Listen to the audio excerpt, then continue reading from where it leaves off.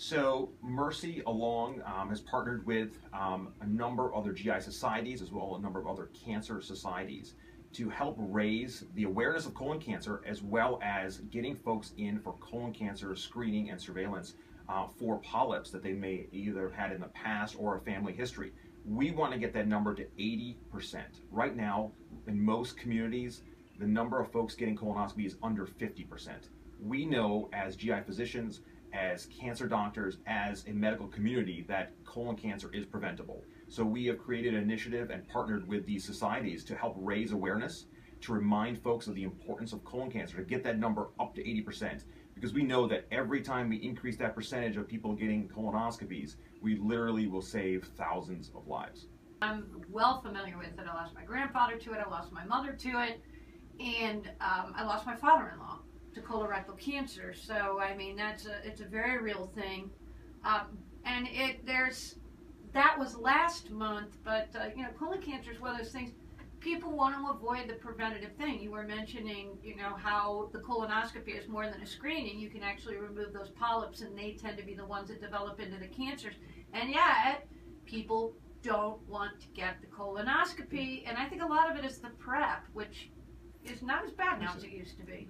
You're absolutely correct. I think that has been the biggest obstacle to folks having a colonoscopy. They've heard about the preparation and the having to move your bowels um, to clean them out to, for us to be able to get a look inside and see those precancerous growths or polyps as we refer to them. I think I can't overemphasize enough. Folks go for their screening for their breast cancer and for prostate cancer and various other cancers. And unlike all those which are looking for actual cancer, we're looking for the precancer. We want to be able to get it before it ever gets to that stage. I, I like to remind my patients that you know colon cancer is in fact preventable it is treatable, it is easily beatable, only if they were to get that evaluation done. As you said, the preparation is actually much better these days. We at uh, Mercy Washington follow cutting edge, uh, the most recent research that shows how best to prep the colon most effectively with the least amount of hassle to our patients and least amount of discomfort.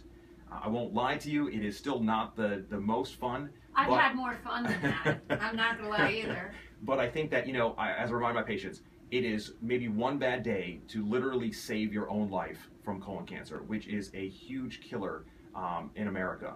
And the number of folks is over 50,000 people die each year from colon cancer. And I would argue that more than 50% of that is completely 100% preventable. Mercy Hospital in Washington has some of the highest quality physicians of anywhere in the metro area. So uh, right in your own backyard.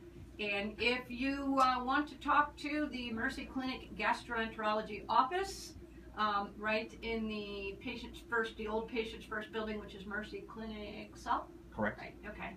Um, Suite 3300, that's 239-7344, or you could go to mercy.net backslash Four Rivers GI